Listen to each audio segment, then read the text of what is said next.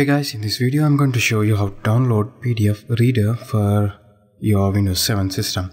So I have this file uh, which is PDF file but I can't able to read this. So I'm going to download PDF Reader. So here is my uh, Google homepage. You just need to type down PDF Reader. So the first result will be from Acrobat Reader. So just click the first result which is from Adobe Acrobat Reader. So here you will be having two options like first one is free and second one is paid version. So go for first one which is free. So click on download now.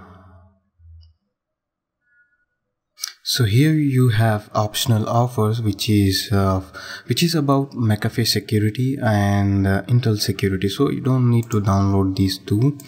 So just click on install now.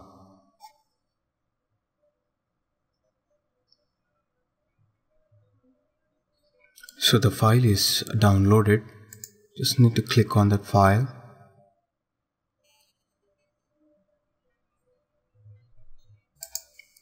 Run the file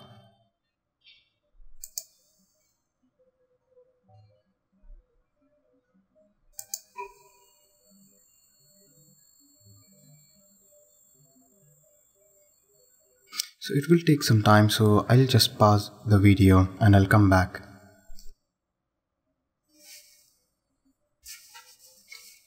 So now it shows installation completed. So just click on finish.